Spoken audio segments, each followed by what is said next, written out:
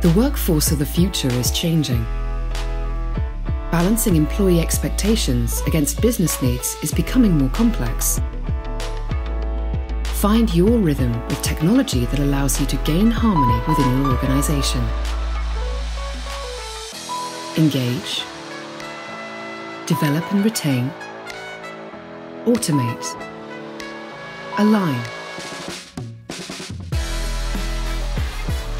gain tempo, get into the groove, find your rhythm. Access people. Do what you love. Love what you do.